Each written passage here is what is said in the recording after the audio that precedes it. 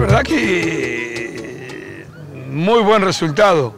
Toros mantenidos, muy, muy resistente a las este, inclemencias del tiempo, invierno, todo, que bicho que se mantiene y se mantiene. En la zona donde estoy yo, zona de Goña, ahí eh, son campos que mm, en invierno está todo repelado y ellos se mantienen.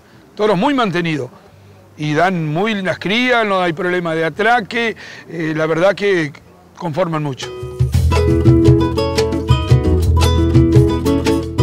Mantenidos, ni sienten, muy mantenidos.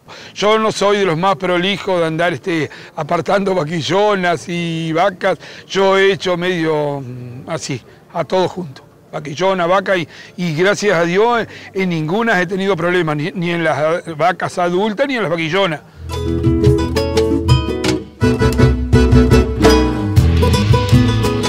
día me hicieron una propaganda que viniera, que no me iba a arrepentir. Incluso yo soy este, eh, cliente a señales de los carneros, carneros venidos australianos, que hace años le compro también.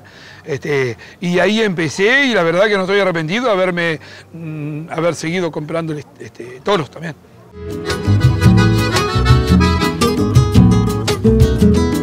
Ya tenés que comprar los toros acá, ya, ya no podés perder un día, ya podés comprarlos.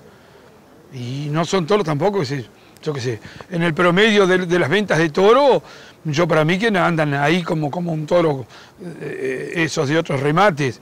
Y la verdad que vale la pena porque ya te digo, uno que vaya a comprar tiene que comprar esos toros, comprar y comprar, que necesite toro tiene que comprar.